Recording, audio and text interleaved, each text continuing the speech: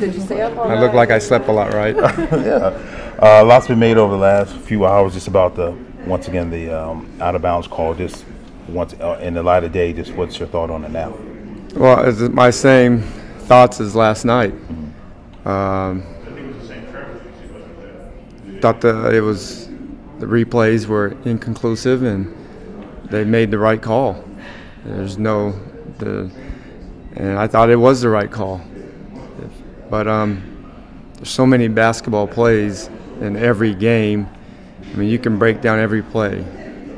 Good screen, bad screen, push, not push, carry the ball, not carry the ball. It's just part of the game. You play through, uh, you play the game every play, and you move to the next play. And I thought our guys did a great job of putting ourselves in the position to win that game. Uh, obviously, the, the odds were stacked against us, but we never we never put our head down and, and we made big plays. Uh, I, I like the fact that we did that after the the, uh, the game before. You know, we had a lot of opportunities to win that game and and did not do that. But give them credit. They made all the big plays in game four, and and we didn't play well down the stretch. And uh, the next game was the, the other way. Memphis, every game was pretty much close, and this one it's been a big one one way, the other way, and then these last couple games have been. Have you ever been a part of a, a series like this? It is. I mean, both teams are so competitive and very good players, and um, there's so many plays and, and so many great moments that you never know what to expect. But the thing that I know to expect from our team is we're going to give great effort. It's not always going to be perfect basketball, and you have to give the defense some credit for that. It's not they're not going to allow you to play perfect basketball. They're going to make you really work for everything that we have. That's something that we have to continue to fight through. Uh, when we're trying to get into our sets, we have to be able to get to the spots and fight through the contact and not give in. Uh, that's something that we, we need to get better at. But to give them credit, they, they did a good job of doing that, and we have done a good job. So that's just part of playoff basketball, uh, and you have to expect that going into the next game. Have you, have you learned anything just as, um, you know, since you started coaching, just about, I mean, your experience in um, just in navigating these great mood swings that uh, game swings and series swings that, uh, and sort of how to, you know, how to convey Yeah. a sense of uh, calm in your team. Or, Well, you have to. You know, when we have an emotional group of guys, and I understand that from day one. Um, you have to have a very uh, even keel approach to, to the game because it's an emotional game. It's a very competitive game. There's ten of the greatest athletes are competing against each other, and you have to be able to remain calm uh, in the moments. And uh, we, at times, we struggle in that area, but for the most part, we do a pretty good job with that. Um, in the playoffs, it's like in, in, the regular season, you have to really approach every game as the most important game, and every game has its own identity and personality, and you have to embrace the, all the ups and downs of that game. And in the playoffs, I know it's a seven-game series, but we look at it as a one-game series, one game at a time. And I think that's what we've always done, and we've had um, a lot of success doing it that way. Scott, did you notice the fans who left early last night thinking the team had lost? No, you know what? I did not notice that. I heard about it. Uh, I was told earlier this morning, but I did not hear about that. Um, but, you know, one thing our fans know, I think the fans that left probably made a mistake that we never quit. Uh, we, we seem to do things um, the difficult way at times, um, but I, I, I, don't, I didn't really pay attention to that. I was focused on coaching the game. You guys were able to score 23 points off their 17 turnovers. Just something you guys did defensively, maybe at a higher level to put hand on the ball and that kind of thing? Well, we, we want to force turnovers, but we want to play solid defense. I thought our defense was uh, good at times and uh, not so good at times. We gave up a lot of open threes. Uh, we weren't really connected and ready to close out uh, immediately on the catch. Uh, but uh, but we did get our hands on the basketball. We got some deflections, some steals, and some opportunity to score in transition. uh, those are the keys of our game. We want to get back and, and continue to focus on what we feel that important. That is playing defense with hands and activity, and making them take tough shots. And you know, offensively, we have to obviously continue to move bodies and, and, and move the ball and look for open shots. Do you think what you've been through the last two games will leave your guys with a sharpened focus in a closeout situation? Well, we know, you know, like every game is it's a tough game. It's a tough game to, to win in this league, one game in a regular season, let alone a playoff, let alone a closeout game.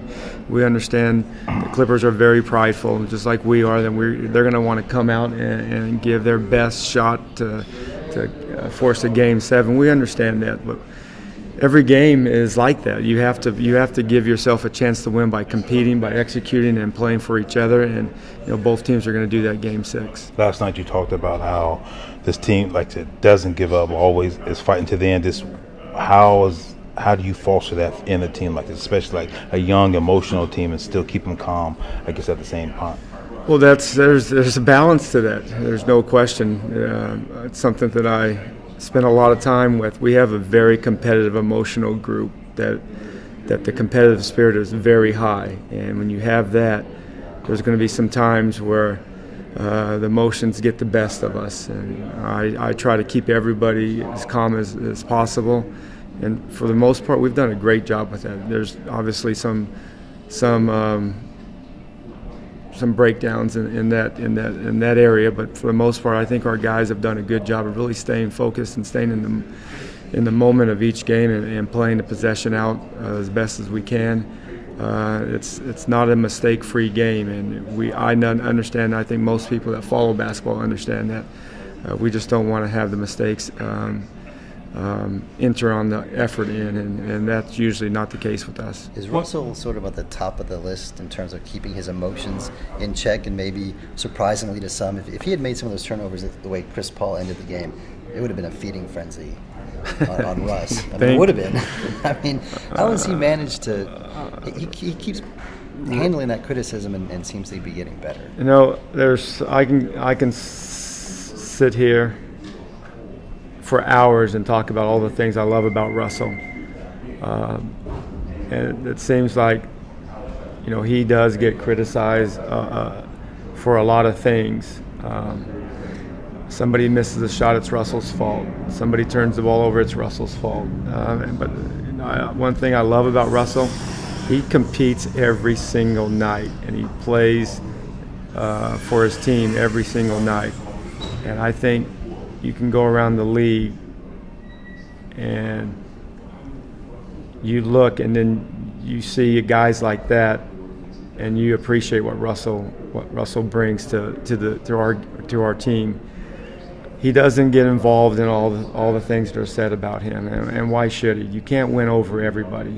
As long as you can win over your teammates, that's the respect that every player wants, uh, and that's the respect I talk about with our group. Uh, whether it's Russell or another guy or me, as long as we continue to have each other's back, you can't worry about what people say uh, because you can't please them all. I mean, you can't. I mean, you can't win over every fan. You can't win over every rider. We all ha- we all want to do the best that we can, just like you guys do.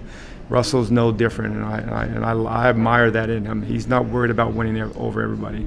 Do you have to throw an emotional off switch because right down to the end of these games, it's all about strategy and tactics and what's next and two or three moves ahead. Do you have to bank your own emotions? Uh, yes, I mean you have to as a coach. It's it's sometimes that's hard, and, and but you have to take yourself out of the situation and just kind of keep everybody stabilized. And I, I I think our guys have been through some uh, a lot of experiences together you know, there's no question the last two games have been an emotional roller coaster for for the good part of the, the ride and, and you know the scary part of the ride.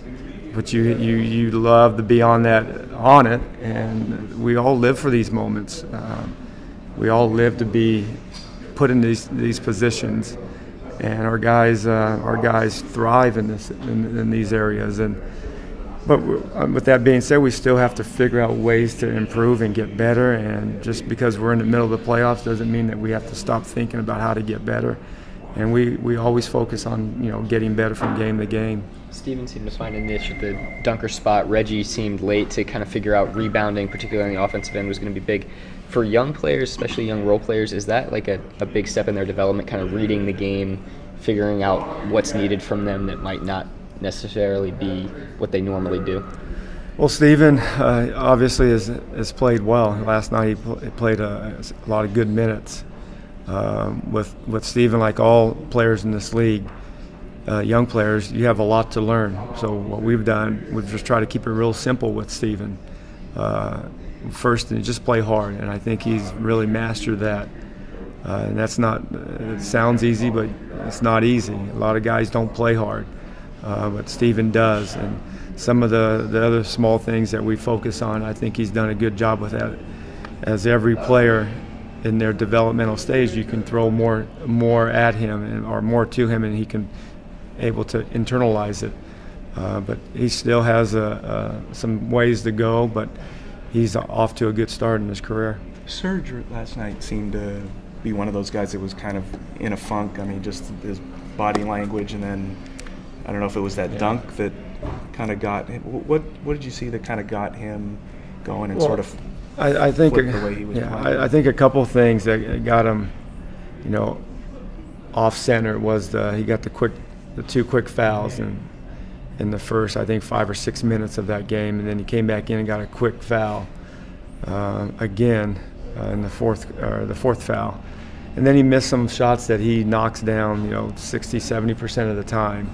Those are the shots that we want. Uh, so, but he came back and bounced back and had a had a good fourth quarter for us. Um, that's what you have to do. You just have to keep plugging away, and you're not going to make every shot. You're not going to block every shot, but you have to just keep being there for your team. And, and I thought he was a good example of that. And that late in that game, he made some big plays for us. Is he a little bit like Russell in that way, in that you know just the emotion and you know sometimes it, yeah, it's not always the direction you want it to go. Uh, he's very emotional. Uh, he's very prideful, and those are the things I love about him. But those are the things that sometimes uh, drives me crazy, but I, I like being driven crazy when you care about something and you're passionate about something like Serge is. Serge is a passionate basketball player. He's competitive. The nature wants to win every every possession. He he he gets frustrated when he misses a shot. He gets frustrated when he misses a rotation. He gets frustrated when he misses an opportunity to get a rebound. But those are those are that's what makes our team very good at a young age. Five years ago, uh, we've always built our team on, on, on being competitive with each other in practice and, and, and transfer, transferring that over on the basketball court in games. More. Yeah. Yeah, Kevin was three for 17 before he got hot at the end. What did the Clippers do well against him, and what do you have to do to counter those things going forward? It's always a combination with Kevin. Um, we have to continue to move him around, and he has to continue to move around himself and, and, and get better setups and lower setups and, and forceful setups. Uh, and then he missed some shots. You know, he's allowed to miss some shots. He's allowed to have a, a, an off shooting night. The guy has been so consistent all year, and in the playoffs, they're obviously loading up to him and putting more than one guy on him and he's done a great job of being a facilitator with our offense and being a playmaker with, within our offense. Um, but like I said, he's allowed to have a, a, a bad, some bad shooting, uh, bad shooting game. But, but what makes uh, the special players or makes the great players special is that you can have a, a bad shooting night and then make three or four buckets down the stretch. And he has the confidence in himself.